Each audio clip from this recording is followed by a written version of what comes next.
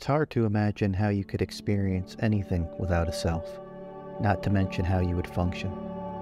Nonetheless, experience continues without a self, and so does functioning. Part of the difficulty in understanding no self is that you likely confuse consciousness with self consciousness, but the two are distinct, and it is possible to have consciousness without having self consciousness.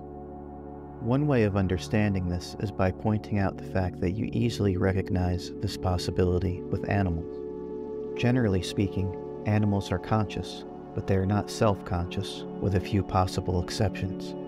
In other words, animals don't have a self, yet they have conscious experiences and function perfectly well in their environments.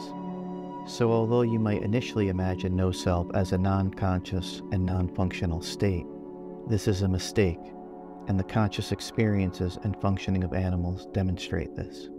To be clear, I'm not suggesting that the human experience of no self is equivalent to animal consciousness.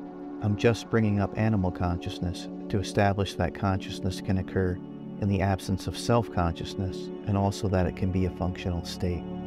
So, no self is a form of human consciousness.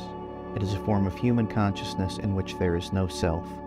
It is human consciousness without self consciousness yet it is a perfectly functional form of consciousness.